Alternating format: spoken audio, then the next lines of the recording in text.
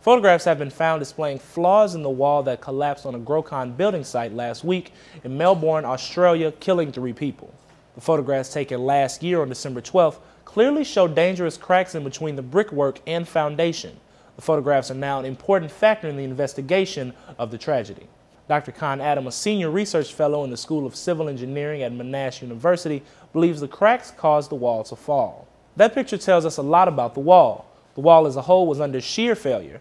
This renders the wall unable to resist wind loads. The wall, if it was designed properly, should flex with the wind and go back without collapsing. Strong winds are believed to be the main factor in the collapse, with engineering experts claiming the cracks would not have been able to withstand the powerful wind gusts of up to 112 kilometers an hour.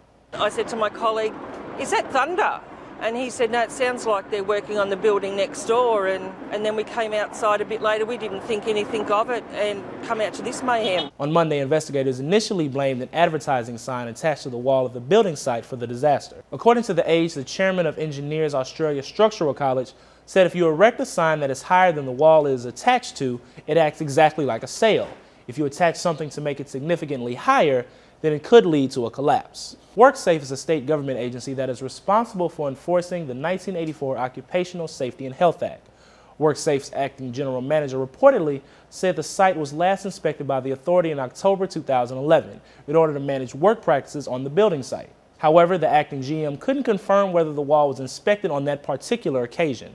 He reportedly told the Australian, the request related to concerns over the safety of workers who were using A-frame ladders to erect the hoarding on the site and the lack of pedestrian management system while the work was being carried out. Three lives were lost in the accident that occurred at a busy Swanston Street in Melbourne, including 18 and 19-year-old siblings Bridget and Alexander Jones and French academic Dr. Marie Faith Fiawoo.